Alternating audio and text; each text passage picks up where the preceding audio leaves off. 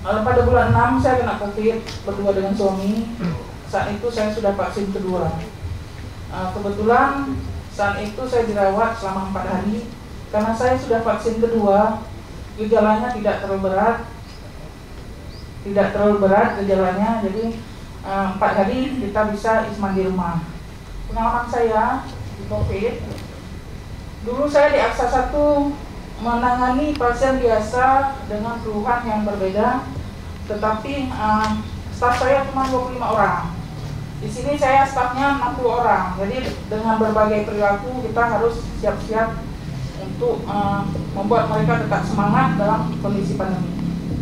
Uh, saran ini saya, uh, saran saya untuk kasus COVID apa pun itu yang wajib tiga hal, satu berdoa, yang kedua vaksin, tiga prokes. Terima kasih. Assalamualaikum warahmatullahi wabarakatuh.